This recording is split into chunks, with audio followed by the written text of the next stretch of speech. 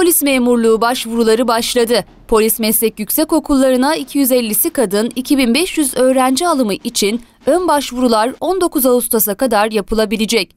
Polis memuru adaylığı için 5 Ağustos'ta başlayan ön başvurular 19 Ağustos'a kadar http www.pa.edu.tr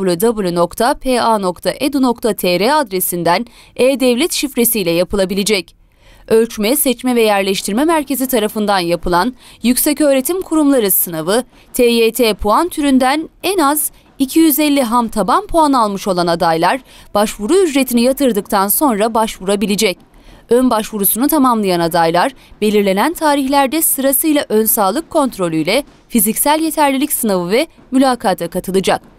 Sınavlarda başarılı olanlar polis meslek yüksek okullarında 2 yıl boyunca ön lisansla mesleki düzeyde teorik ve uygulamalı eğitime tabi tutulacak.